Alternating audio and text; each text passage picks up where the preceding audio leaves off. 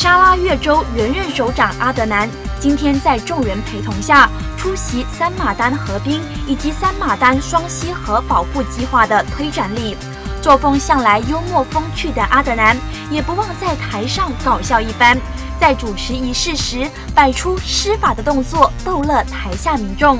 此外阿德南也表示有信心沙国镇可以拿下超过七十个州议席。